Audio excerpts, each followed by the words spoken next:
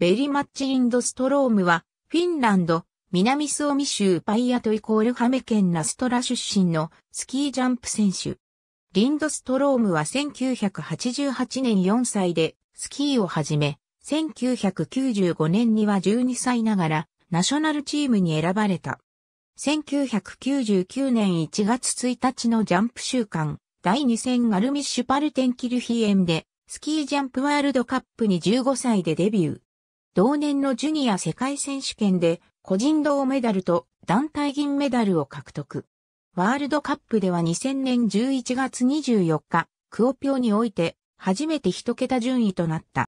2000、2001シーズンには、フィンランド選手権で優勝。ジュニア世界選手権で個人、団体の2冠に輝いた。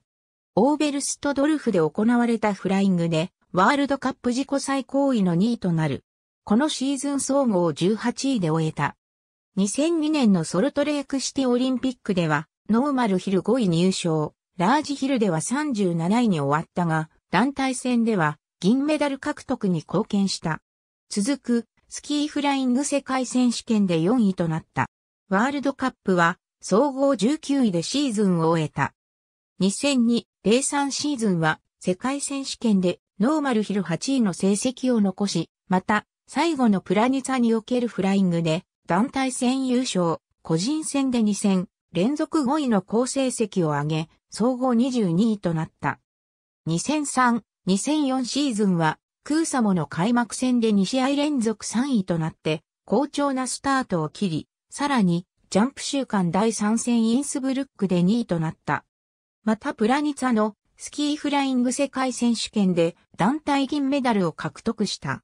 このシーズンは総合15位で終えた。2005、2006のシーズン前に怪我をしてコンチネンタルカップを転戦することとなった。シーズン最後のプラニツァのフライングに向けて A チームに復帰したが予選通過できなかった。翌2006、07シーズンの開幕でいきなり4位となり、周囲を驚かせたが以降成績が上がらず2月には A チームから外されてしまった。